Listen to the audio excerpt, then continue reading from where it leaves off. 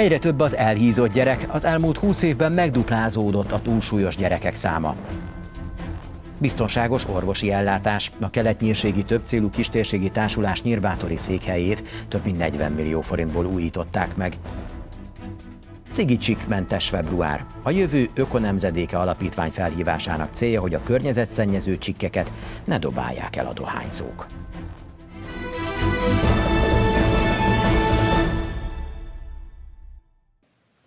Megduplázódott az elhízott gyermekek száma az elmúlt 20 évben, derül ki a Magyar Dietetikusok Országos Szövetségének adataiból. A Kölcsei Televízió híradóját látják, köszöntöm Önöket! A legfrissebb felmérések szerint az európai kamaszok csak nem harmada túlsúlyos vagy elhízott. Az elhízás következtében fellépő egyes betegségek, mint például a cukorbetegség, nagy mértékben rontják a gyermekek és fiatal felnőttek életkilátásait. Ennek is köszönhető, hogy az elmúlt két évtizedben a kettes típusú cukorbetegség előfordulása tízszeresére nőtt a gyermekek körében. Magyarországon a gyermekek 40%-a túlsúlyos, közel 20%-uk pedig már elhízottnak minősül. Ez utóbbi már betegséget jelent, nem csak egy egyszerű állapotot, mondta el dr. Újhelyi János gyermekorvos.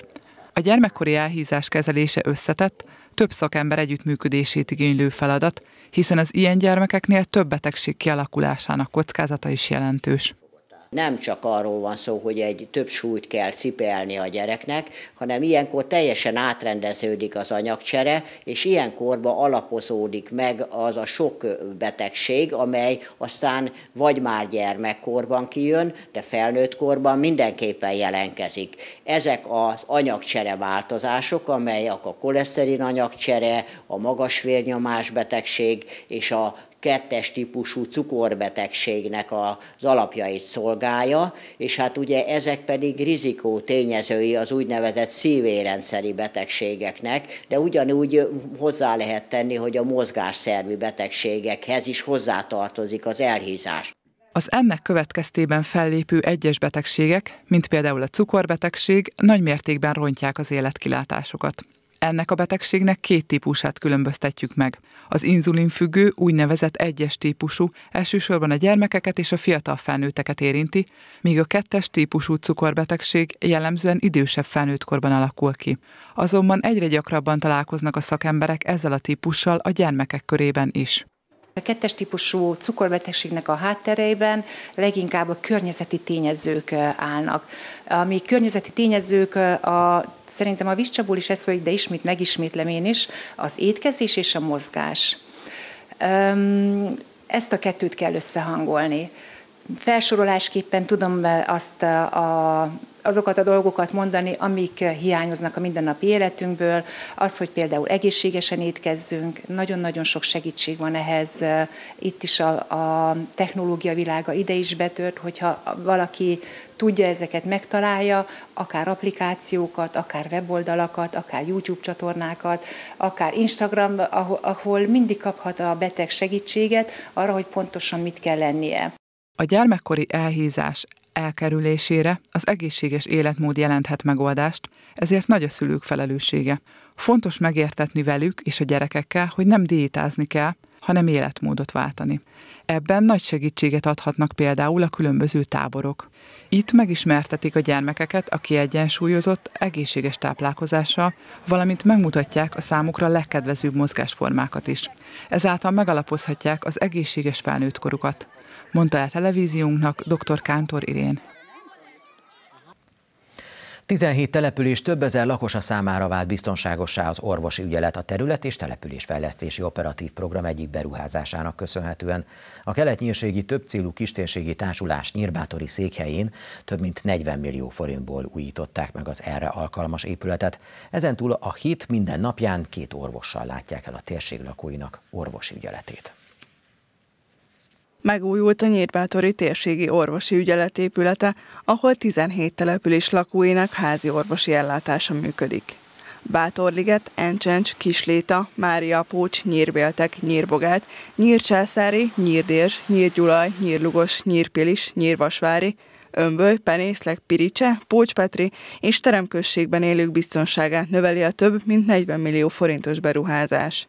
Erre azért volt szükség, mert Nyírbátor 2016-ban kilépett a kistérségi társulásból. És másnap megüzente levélben, hogy hagyjuk el azt az orvosi ügyeleti helységet, ahová korábban a kistérségi társulás költözött. Ennek az előzménye az volt, hogy Nyírbátor egy STK beruház, az STK-nak a felújítását végezte 450 millió forint értékben, és akkor a kistérségi társulást megkérte, hogy az orvosi ügyeletet működtessük az STK épületében, mert hogy az uniós kívánalmaknak így tudott Nyírbátor megfelelni. A kilépést követően azonban a térség 25 ezer emberének orvosi ellátása került veszélybe. Ekkor fogalmazódott meg a kistérségi társulás részéről, hogy új orvosi ügyeletet alakítsanak ki a térség centrális helyén, Nyírbátorban. Nyírbátor működtet egy egysoros, tehát egy orvossal működő ügyeleti rendszert, ami 42 millió forintjába kerül a korábbi 27 millióval szemben, és ilyen formán a város megengedheti magának, hogy plusz 16 millió forintot fizessen ki egy olyan ügyeleti ellátásért, ami sokkal kisebb, mivel hogy egy orvos dolgozik ott, míg a mi kistérségű orvosi ügyeleti rendszerünkben két orvos látja el a feladatot. A terület és településfejlesztési operatív program keretében megvalósult beruházás létkérdés volt a Nyírbátori kistérség 17 településének lakói számára. Egy nemrég készült felmérés alapján ugyanis az emberek értékrendjékben az egészség áll az első helyen. Drágábban tankolhatunk a hét utolsó napján. A MOL bruttó 3 forinttal emeli a 95-ös benzin, és bruttó 2 forinttal a gázolaj literenkénti nagykereskedelmi árát pénteken. Az emeléssel a benzin ára 345 forint, a gázolajé 383 forint lesz. Az üzemanyagok ára legutóbb múlt pénteken változott, akkor bruttó 3-3 forinttal csökkent. Az autósok akár 50 forintos különbséget is tapasztalhatnak a töltőállomások árai között. Cigicsikmentes február címmel egész hónapos kihívást hirdet a Jövő Ökonemzedéke Alapítvány. Ennek célja, hogy felhívja a figyelmet a cigicsikkek komoly környezetszennyező hatására. A szervezők a program során szeretnék elérni azt, hogy a dohányzó lakosság megfelelő módon szabaduljon meg az elszívott cigarettájától. A csikmentes február segítségével a szervezők egy olyan problémára mutatnak rá, ami eddig a szőnyeg alá volt söpörve – az egy hónapos kezdeményezéssel azt szeretnék elérni, hogy az emberek figyelmet szenteljenek ennek a problémának is, és tegyenek a megoldás érdekében. Egy eldobott cigicsik látványra sem szép, de emellett komoly környezeti ártalmat is jelent.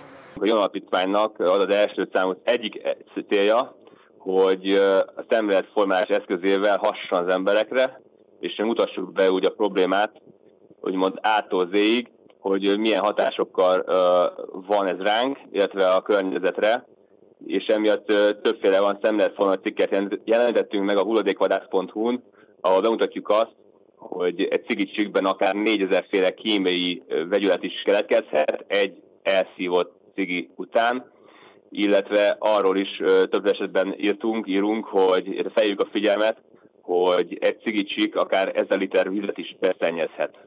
Globálisan a világ minden pontján fellépő probléma, hogy a dohányos lakosság egy része nem találja megoldást a cigicsikek környezettudatos leadására az elszívott slukkok után. Így inkább a lehető legrosszabb megoldást választja, eldobja, elpöcköli. Nem törődve azzal, hogy milyen károkat okozhat egy eldobott cigicsikkel nem csak a köztisztaságnak, hanem a környezetnek is. A program kiemelt célja a figyelemfelkeltés. A csíkmentes február akció probléma megoldási javaslatokból épül fel. A szervezők elképzelései szerint lesznek cigicsik tartó tárolók, valamint egyedi kukák kifejezetten a csikkek számára. A példa külföldről származik, ott sok esetben be is vált, mondta el Szebenyi Péter. Olyan megosztással szeretnénk generálni az emberektől, ahol egymás fölhívják arra, hogy ne dobd el a cigicsikket. Erre például lehet használni a cigicsik mentes hashtaget, vagy a nem dobom el hashtaget, illetve ö, olyan fajta alternatívákat mutatunk be, mint például a zsebhamutartó, ami arra szolgál, hogy ha valaki dohányzik, és elszívta a cigicsiket, viszont nem lát a közelbe kukát, ahol azt kidobhassa, tartsa magánál egy zsebhamutartót, amiben úgymond el tudja helyezni a cigicsikét, és a legközelebb, ha találkozik mondjuk 100 méter után ö, egy kukával, oda ki tudja ezt a zsebhamutartót üríteni.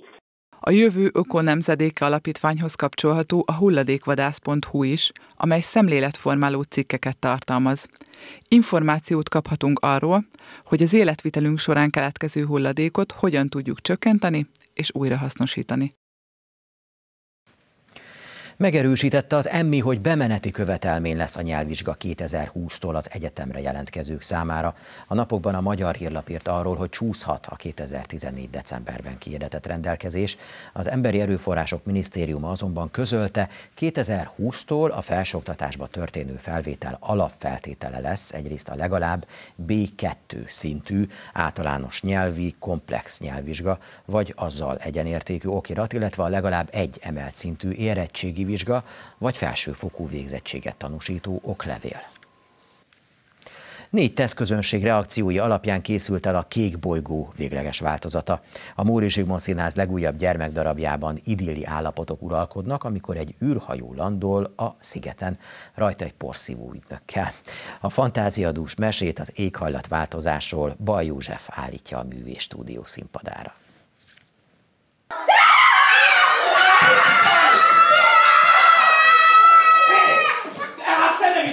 Űrszörny vagy? Hát, nem éppen! Azért jöttem, hogy megmentselek titeket. Hogy megmentsél? Mm-hmm.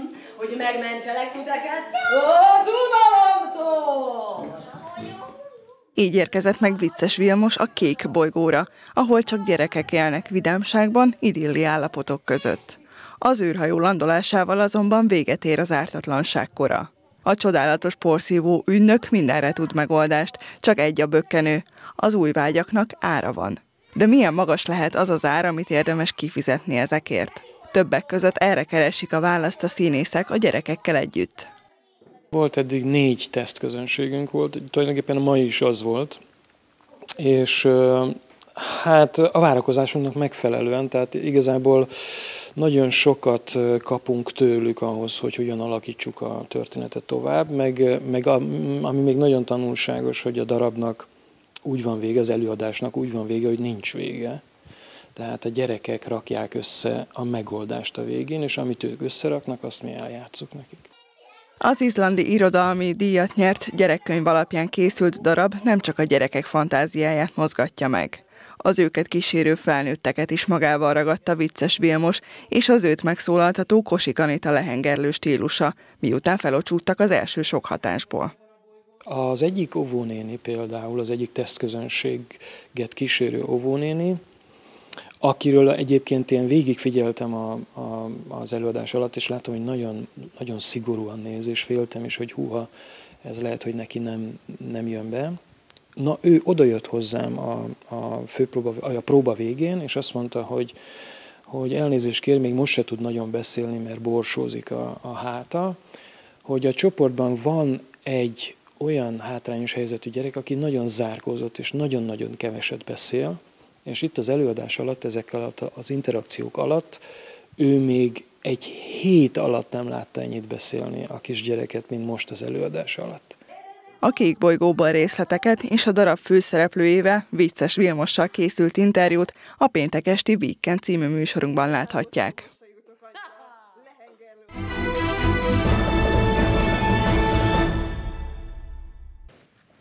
Pénteken és szombaton az Európai Ifjúsági Kosárlabda Liga Szolnoki tornáján lép pályára a Nyíregyháza Blue Sharks U20-as együttese. A kék cápák két cseh, egy észt és egy szerb csapattal mérik majd összetudásukat. Az előző szezonban beugróként szerepelt, ebben az évadban viszont már teljes jogú részvevője az Európai Ifjúsági Kosárlabda Ligának a Nyíregyháza Blue Sharks 20-as csapata. A kék cápák ősszel a B csoport első tornáján Kolozsváron léptek pályára, és két olasz csapatot, egy finn együttes, valamint a szolnokot legyőzve 100%-os teljesítménye zárták a nyitókört. A folytatás pénteken és szombaton lesz szolnokon, ahol négy újabb ellenfélel mérik majd összetudásukat a nyíregyházi fiatalok. Az első kör után megjött az étvágya a csapatnak, és szeretnénk tovább jutni a következő körbe, ami azért már egy kiemeltebb szereplést jelentene, de nem lesz könnyű feladatunk, hiszen az egész hétnek eléggé zsúfolta a programja, és azt hiszem, hogy nem a legideálisabb az, hogy pénteken és szombaton is két mérkőzést kell játszani, de ezt azért tesszük, mert ugye kedden hazai bajnoki mérkőzésen lép föl a Blue Sharks felnőtt csapata, ahol ugye a fiatalok is érdekeltek, illetve vasárnap a nagykörös gárdája fog majd érkezni Nyíregyházára, tehát valamikor szombaton este 8 órakor fogjuk játszani az utolsó EBL mérkőzés Szolnokon, hazautazunk, és vasárnap jön a következő mérkőzés, de hát a srácok úgy is szerettek volna belekóstolni a nemzetközi kosárlabda világ életébe, és azt hiszem, hogy ez megfelelő ízelítő lesz a számukra. Mint Sitko Ernő elmondta, fontos, hogy minél több kosárlabda kultúra képviselői ellen játszanak a fiatalok. Az ismeretlen ellenfelek azonban azt is jelentik, hogy szükség esetén mérkőzés közben kell változtatni a csapatjátékán. Nagy kihívás, ez nem kérdés, viszont ez azt is feltételező, hogy bizonyos alaptaktikai dolgokat meg kell tanulnunk, és jól kell végrehajtani. Alapvetően, hogyha figuráknak nevezzük ugye a felátvédelem elleni játékokat, ezek bizonyos mozgáselemekből vagy tevődnek össze, és igazából mindegyik ellen tanulunk védekezni, csak hát nem kérdés, hogy ezek az elemek milyen sorrendben követik egymást, de ha fölismerik a játékosok, akkor tudják ezt védeni, és hát ez egy picit talán segít abban, hogy minél gyorsabban és kreatívabban ismerjük föl, hogy éppen mivel állunk szemben. A nyíregyháziak pénteken a szintén hibátlan észt, KK, valamint az 1-3-as mutatóval álló cseh BK Osztrava ellen lépnek pályára. Szombaton, amíg nyeretlen, cseh BCM Prostajov és az új belépő szerb Mlados Zemun lesz Fazekas Csabáik ellenfele. Megőrizte idei hibátlan mérlegét a Nyíregyházi Tekeklub együttese, az NTK az MB1 14. fordulójában a Szank OBS-e csapatát fogadta, és a vendégek 6-2-es vereséggel távoztak a Városi Stadion teke csarnokából. A Nyíregyháziak szombaton a Dinamo SC ellen lépnek dobóállásba. A második helyezett fogadta az utolsó előttit, így egyértelműen a hazaiak voltak a mérkőzés esélyesei. A nyíregyháziak nem is engedték kiénekelni a sajtot a szájukból, bár az első kör után egy-egyre állt a találkozó, a középső sorban a 600 fáig jutó Fehér Béla vezérletével eldöntötte a meccset az NTK. Az utolsó párosok küzdelmében csak a hazai győzelem különbsége volt kérdéses, végül fintáig 6-2 sikerrel érvényesítették a papírformát. Az első szedbe sajnos a Magyarosi Péter picivel, de elbukta a fontos csapatpontot, azonban mellette a Hakker Dezső magabiztosan hozta a kötelezőt, és a középső sorba igazából már eldőlt a mérkőzés azzal, hogy mind a két pontot meg tudtuk szerezni, itt a Szojka Miklós, illetve a Fehér Béla révén, és a záró sorba a Kastoros Zsoltal, ahogy megindultunk az első 30-as szériámból, már látszódott, hogy csak is nyíregyházi győzelem született, annak már csak a mértéke volt kérdéses. Nekem sikerült a csapatpontot megcsinálnunk, és így alakulhatott ki, hogy egy nagyobb fa különbséggel és 6-2 arányban diadalmaskodni tudtunk hazai pályán. A nyíregyháziak szombaton idegenben lépnek pályára, Budapesten, számukra ismerős környezetben a Dinamo SC ellen szeretné begyűjteni a két pontot az NTK. A Dinamo csapata ez már mindenképpen egy sokkal nehezebb falat lesz idegenben, ugyanis nagyon jól játsza a hazai pályájukat. Hozzáteszem, hogy ezen a pályán ebben a szezonban már kétszer voltunk, a gázművek ellen és a fővárosi vízművek ellen is diadalmaskodni tudtunk. Azt lehet mondani, hogy magabiztosan, úgyhogy bízunk benne, hogy ha ugyanazt a csapatfát tudjuk hozni, akár a Dinamo csapatát is meg tudjuk majd leckésztetni. Egy 3-5 arányú óvatos kis vendéggyőzelembe bízunk, és nekünk most ez a legfontosabb, hogy a két pont meglegyen, főleg annak tudatában, hogy a közvetlen riválisaink, az Eger, illetve a BKV előre is nehéz idegenbeli mérkőzés elé nézhet, és nagyon bízunk benne, hogy most a tabellán is akár már előrébb tudnánk majd lépni, úgyhogy ezért is mindenképpen nagyon fontos lesz ez a szombati találkozó számunkra. Az NB1 keleti csoportjának tabelláját az Eger vezeti 22 ponttal, megelőzve az eddig 20 pontos szerző NTK-t és a 19 pontos BKV előrét. Most pedig híradónk végén nézzük legfontosabb híreinket még egyszer röviden. Megduplázódott az elhízott gyermekek száma az elmúlt 20 évben, derül ki a Magyar Dietetikusok Országos Szövetségének adataiból. A legfrissebb felmérések szerint az európai kamaszok csak nem harmada túlsúlyos vagy elhízott. Az elhízás következtében fellépő egyes betegségek, mint például a cukorbetegség, nagy mértékben rontják a gyermekek és fiatal felnőttek életkilátásait. Ennek is köszönhető, hogy az elmúlt két évtizedben a kettes típusú cukorbetegség előfordulása tízszeresére nőtt a gyermekek körében. 17 település több ezer lakosa számára vált biztonságossá az orvosi ügyelet a terület és településfejlesztési operatív program egyik beruházásának köszönhetően. A keletnyírségi többcélú kistérségi társulás Nyírbátori székhelyén több mint 40 millió forintból újították meg az erre alkalmas épületet. Ezen túl a hét minden napján két orvossal látják el a térség lakóinak orvosi ügyeletét. Cigicsikmentes február címmel egész hónapos kihívást hirdet a Jövő Ökonemzedéke Alapítvány. Ennek célja, hogy felhívja a figyelmet a cigicsikkek komoly környezetszennyező hatására. A szervezők a program során szeretnék elérni azt, hogy a dohányzó lakosság megfelelő módon szabaduljon meg az elszívott cigarettájától.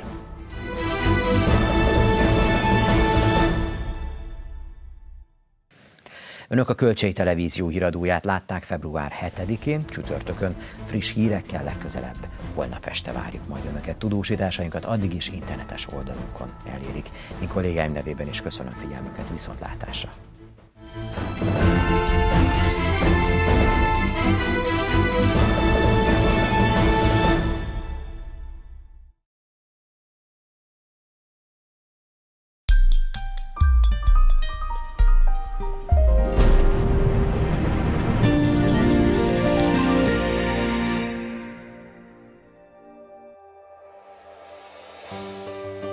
Gyengén és közepesen felhős időszakok, illetve területek váltakoznak.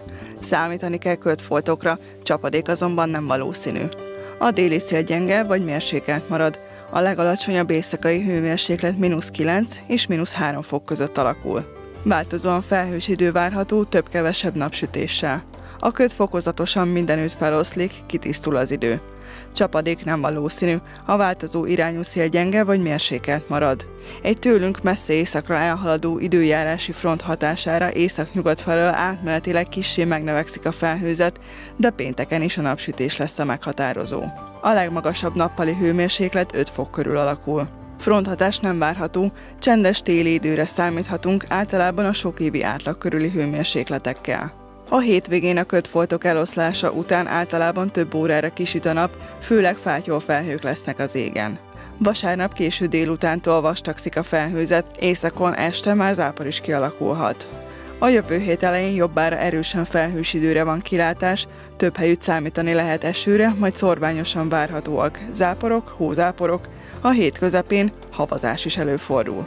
Gyakran megerősödik, helyenként viharossá fokozódik a szél, iránya a hétvégén déli, délnyugati, a jövő héten északi, északnyugati lesz, amelyel az átmeneti felmelegedés után ismét hidegebb levegő árasztja el a Kárpát-medencét.